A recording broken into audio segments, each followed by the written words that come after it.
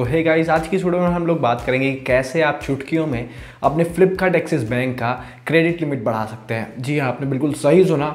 मैंने चुटकियों में, मैंने सिर्फ़ दो मिनट में अपनी पंद्रह हज़ार लिमिट को तीस हज़ार में कैसे कन्वर्ट कर दिया, सबसे पहले वो आप देख लीजिए।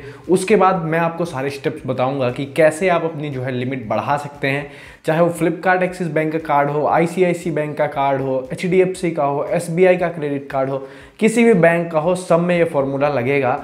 100% दावे के साथ कह सकता हूँ कि आपका भी क्रेडिट लिमिट बढ़ जाएगा। लेकिन उससे पहले आप देखिए कैसे मैंने चुटकियों में अपना फ्लिपकार्ट एक्सिस बैंक का क्रेडिट लिमिट पंद्रह हज़ार से तीस हज़ार कर दिया। तो देखिए साइड में आपको हमारी मोबाइल की स्क्रीन दिख रही होगी। सिंपली से आपको खोल लेना है फ्लिपकार्ट एक्सिस बैंक का ऐप। और जैसे आप एक्सिस बैंक का ऐप ओपन करते हैं, मेरा यहाँ पे कोई भी अकाउंट नहीं है। सिंपली क्रेडिट कार्ड है एक्सिस बैंक का तो मैं क्रेडिट कार्ड पे टैप करके लॉगिन कर लूँगा। आप जैसे करना चाहें वैसे कर सकते हैं लॉगिन सिंपली से आपको होम स्क्रीन पे आ जाना है क्रेडिट कार्ड के।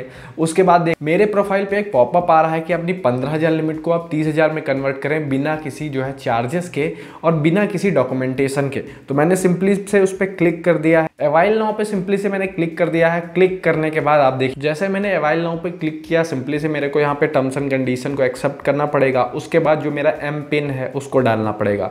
और जैसे ही मैं कंप्लीट एम पिन अपना डाल देता हूँ। देखिए आप चुटकियों में मेरी पंद्रह हज़ार की लिमिट तीस हज़ार में कन्वर्ट हो जाती है आपकी आँखों के सामने।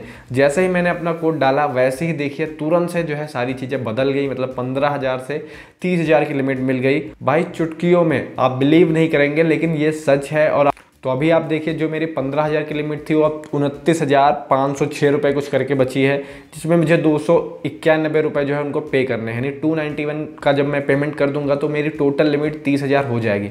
तो अभी आपने ये पूरा प्रूफ देख लिया। मोबाइल पर मैं दिखा रहा था, आपको स्क्रीन पर दिख रहा होगा। तो ये सारी चीज़ें मैंने आपको बता दी। अब बात करते हैं कि आप कैसे जो है क्रेडिट लिमिट अपनी इंक्रीज कर सकते हैं। तो देखिए, जब मुझे पंद्रह हज़ार की लिमिट मिली थी, ये मेरे नाम पे कार्ड नहीं, मेरी मम्मी के नाम पे है तो उनको जब पंद्रह हज़ार की लिमिट मिली थी उससे पहले उनका क्रेडिट स्कोर थोड़ा बहुत अच्छा था। फिर मैंने क्या किया, इससे जो है परमानेंट जो है सामान खरीदने लगा। देखिए, अगर आप फ्लिपकार्ट शॉपिंग करते हैं, कहीं भी शॉपिंग करते हैं तो कहीं ना कहीं से तो पैसा कटवाते ही होंगे। जैसा कि पेट्रोल डलवाना हुआ तो मैंने क्रेडिट कार्ड का यूज़ किया।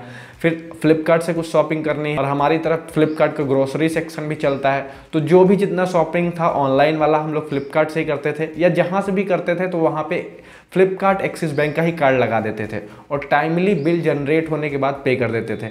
कुछ लोग क्या दिक्कत करते हैं कि आज उन्होंने एक तारीख को जो है सामान लिया और वो इस डर में रहते हैं कि हमको जो है ज़्यादा चार्ज ना देना पड़े तो 15, 20, 25 तक उसको पे कर देते हैं। ये गलत तरीका है क्रेडिट कार्ड का अमाउंट पे करने के लिए। सही तरीका मैं आपको बताऊँ आप कुछ भी सामान लीजिए दस रुपये का हो बीस रुपये का हो दो हज़ार रुपये का हो सिंपली से उसका बिल जनरेट हो जाने दीजिए। यानी अगर आप इस मंथ ले रहे हैं तो अगले महीने के आपको एक से लेकर सात तारीख के बीच में आपका बिल जनरेट हो जाएगा।